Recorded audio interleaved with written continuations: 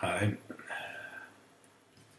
In this video guide, I'll show you how to uh, install plugins for Radio FM uh, WordPress theme.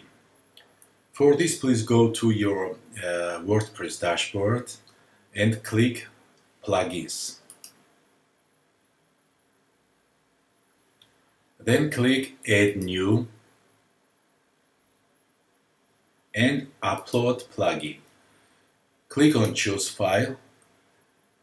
Find in your WordPress installation package uh, folder plugins, then admin panel. You will see one, two, three, four, five plugins. Click on first one, open, and click install now. Then click active plugin. We should do the same with other four plugins too. So first plugin has been installed and activated. After that click again add new one, then upload plugin, choose file and click on second plugin and install it now.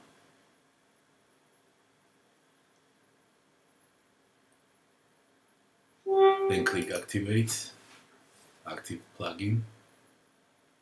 Again, click on new, then upload, find the third plugin, click open and click install now. Active plugin. Then third one,